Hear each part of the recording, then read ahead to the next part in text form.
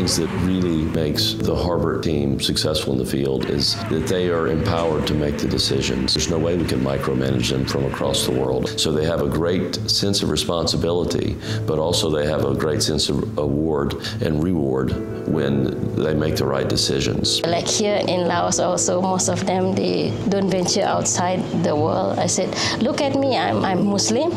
I'm worse, I'm covered, and it makes no difference with Harbert. I said, it's all here that matters. What matters is what you what you what you know, what you can do, what you can perform. Most of the people at Harbert we know, we've all worked together, we've heard of each other. You have to be firm with them, but you have to also treat them like you want to be treated. It's very good to get all those different countries people staying in the same boat and, and doing something. That technology transfer, it does work. And when we leave, we leave a skilled workforce there that, that the local community can utilize. Finding those people that can work together as a team and basically be dropped in the middle of nowhere. It's amazing. They just drop us in to these places and we have to get our materials here and get organized and get it done. It's a huge challenge, but uh, we always do it. The challenge working overseas is every day. Every day there's challenges that you wouldn't dream would happen and constantly. Getting people in, housing your people, making sure they stay healthy and safe, providing transportation for them, make sure the vehicles are running, make sure the house has power, make sure people have security at their places. You know, when you have time off, the things that I get to do are the things that most people only get to read about in National Geographic. What's so rewarding about this business is you get to see tangible results in a project and a structure that is completed, and it's because of the problems that you've solved to get it to that level. I mean, that's what's so neat. Everybody there is there to solve problems and working with the team that gets it done. Welcome.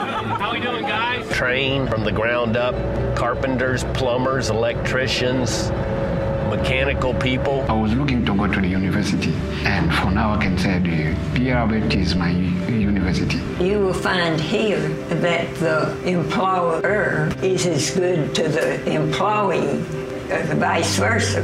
Why would you want to leave a good thing? Makes you feel like your family. It's a big family, you know, family of two or three thousand people working overseas. We've always treated our employees with respect, and I think ultimately, if you know, if I didn't feel that Billy Harbert, Chuck Bone had my back, you know, respected me and allowed me to do what I can do, I wouldn't be here. We try to treat our employees with utmost respect and fairness and make them part of the family. Talk to them like, you know, like I'm talking to you right now.